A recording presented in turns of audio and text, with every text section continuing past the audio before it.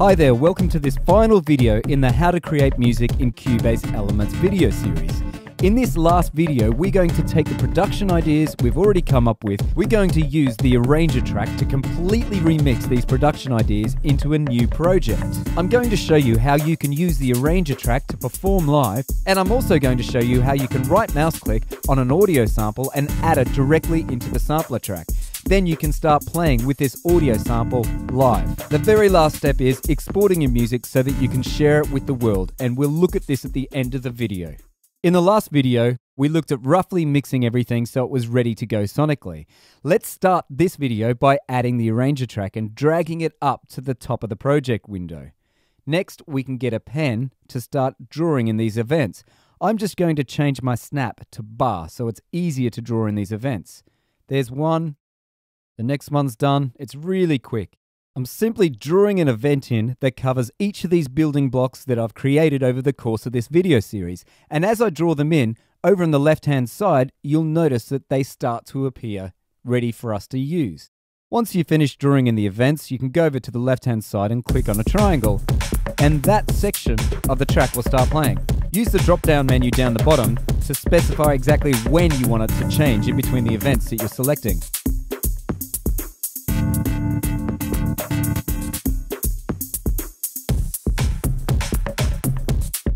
The Arranger track makes for a great live performance tool. You don't need to sequentially play a project from start to finish. And you'll notice I didn't write it from start to finish. I just put in a whole heap of events.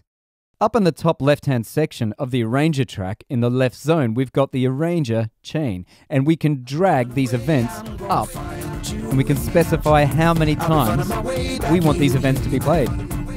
So now I am starting to build a track sequentially which can be edited on the fly whenever I want.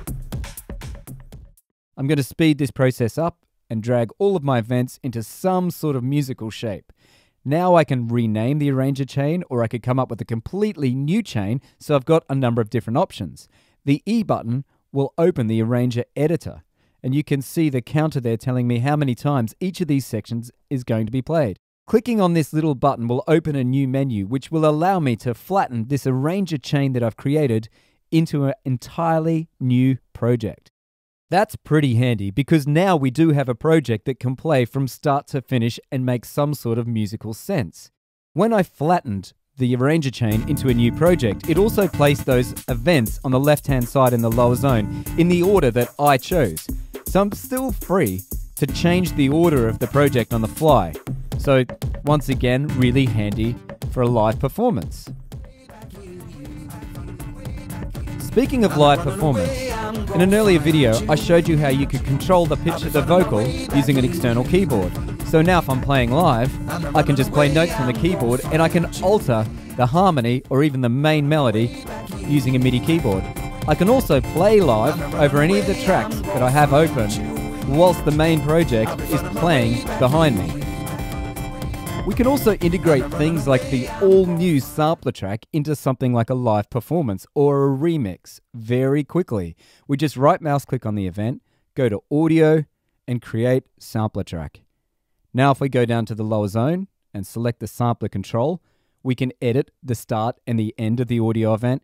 And now it's just basically time to have some fun messing with the audio warp, the pitch, the filter, and the amp.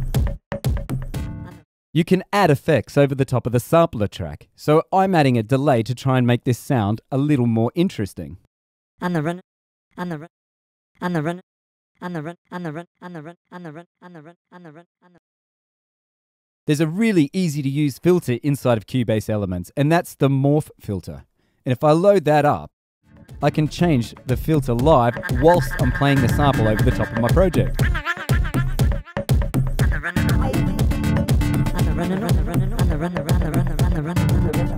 Of course, you can record whatever you're doing on the sampler track, and as I showed you in the mixing video, you can automate any of these effects. So the potential is almost endless or limitless for you to come up with a creative sound, and you can see just how easy it is to remix these musical ideas. Now, there's no point in remixing musical ideas if you can't get it out to the world. So now it's time to do an audio mixdown of our new project. I'm naming it You should also select the appropriate file format for the audience you want to share this project with. You can upload it to SoundCloud, and then as soon as you hit export, it will export the project into a stereo mixdown, and you're ready to go. You've got your very own project. Over the course of this video series, we've created a groove, we've created a chord progression, we've created a whole series of musical building blocks, we've come up with a vocal hook, we've mixed our audio, and we've also remixed all of these ideas into an entirely new project. We've also looked at how you can export your music to the world. There's plenty more instructional videos on the Steinberg YouTube channel, so please subscribe. And we love connecting with creative people, so look us up on social media. Enjoy being creative with Cubase Elements.